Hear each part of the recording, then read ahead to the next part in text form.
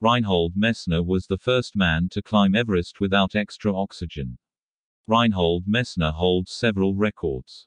He was the first man to climb all the mountains over 8,000 meters without bottled oxygen. His climb of Everest without extra oxygen in 1978 was deemed impossible by doctors and specialists, but he did it nonetheless. He reached his first summit when he was five and was also the first person to summit Everest solo.